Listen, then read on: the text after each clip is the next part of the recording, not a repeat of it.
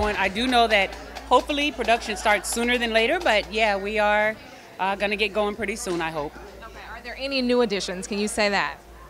I have to say wait and see, but I every season, you know, VH1 and Shed Media and our show always brings something fresh and different.